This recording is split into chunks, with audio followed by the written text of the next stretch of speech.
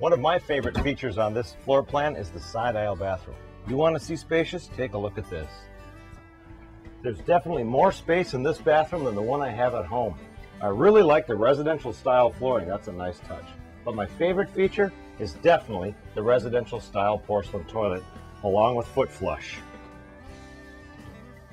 The bathroom also comes with a vent fan and this is a first, an air conditioning duct in the bathroom.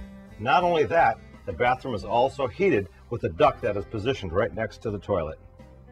And like I said earlier, one thing you'll find in the Everest is lots of storage. This linen cabinet will definitely hold more than enough towels. One thing I noticed was the size of the medicine cabinet is very large. There's more than ample space in there for personal items. Another nice little touch is this three light Hollywood strip light.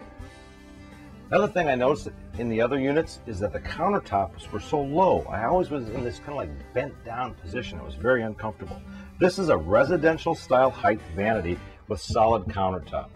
A very large bowl along with a residential style faucet. I really like the all glass Neo enclosure and solid glass shower door. You won't be cramped in this shower. Seems like all the other units I looked at had those boring white walls. The marbleized shower pan and surround gives it a real nice rich look. The faucet is all metal and it's adjustable to any height. And if you look straight up, you'll see a skylight which lets in lots of daylight. The folks at Everest call this their king suite. The reason they do that is this is a full-size king bed. And if I'm not mistaken, yep, it is. It's a pillow top mattress. And from what I hear, it's very, very comfortable. You should be able to lift down here. Yep.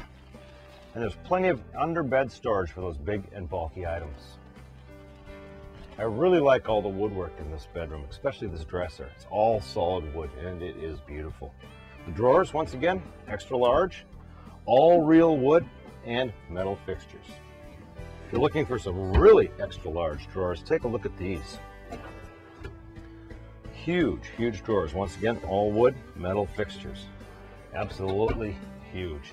Behind this door, I like this. You find a 19 inch high definition LCD TV with additional storage. If you're ever thinking about adding a washer and dryer, one nice thing about Everest, it comes pre-plumbed. All you have to do is remove the three drawers and install a washer and dryer, and your local dealer can do that for you. Also in the bedroom is a floor-to-ceiling mirrored wardrobe, large enough to hold just about anything you want to take with you. Also in the bedroom slide, you'll find his and hers windows, along with his and hers reading lights. Another thing I really like is the matching headboard. This is a feature I did not see in any other units.